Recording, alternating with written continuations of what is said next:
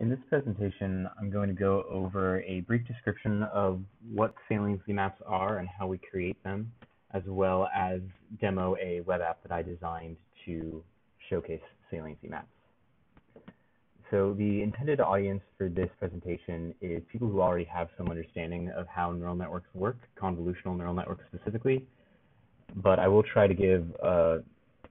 brief overview only to the degree that it's useful for understanding saliency maps. So the, the way that neural networks work generally is they are a string of computational operations that are fully differentiable so that when you get to the output layer, you can take some error compared to a desired output and take the gradient of that error function with respect to the model parameters and use that gradient to update the model what makes convolutional neural networks special is that those computational operations are done in such a way that spatial information about the input is preserved. So if you input an image, then the pixels stay where they are relative to each other as that information is fed through the model. So the way that we make saliency maps is instead of taking a gradient with respect to the, I'm sorry, the error gradient with respect to the model parameters, what we end up doing is taking the gradient of the class score that we're trying to visualize with respect to the input image itself. So when we take that gradient and push it backwards through the model, what we get out the other end is a sort of activation map of the degree to which a pixel contributed to that class score, the class score whose gradient we took um, these values will be spread between negative infinity and infinity, theoretically. So we take the absolute value, since we don't care about the direction of the effect, we simply want to know the degree to which it affected the output, and then we can normalize that into some range so it can be displayed as an image. The reason why saliency maps are useful is because they help us understand why our network does what it does, why the model gives the response that it did. And a good example of this is a model that was trained by some researchers to distinguish between wolves and dogs. And though the model had relatively high accuracy, when they looked at explanations to why it was making its judgments,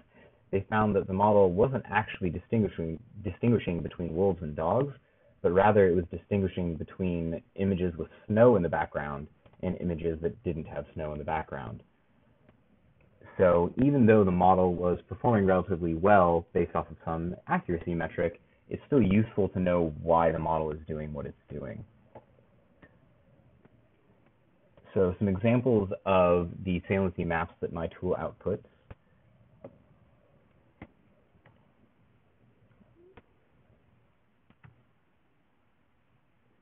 So we, we can see through all of these that the interesting regions of the image really are lighting up, and it appears that the network actually is concentrating on the appropriate parts of the image.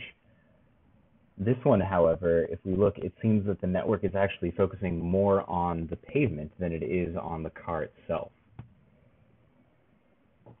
So to show the tool that I used to create these,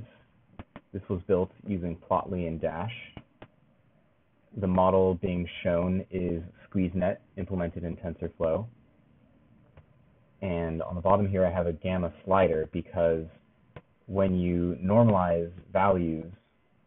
over such so large a range, there may be some outliers that really throw off the way that that normalization occurs.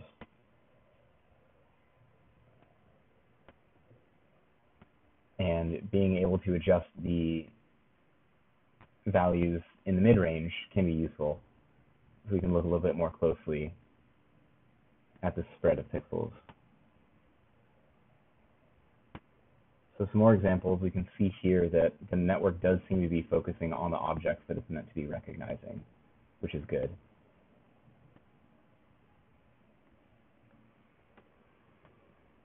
And some also, also some examples where the model doesn't appear to be focusing on anything in particular, or rather focusing on the entire image in order to make its judgment.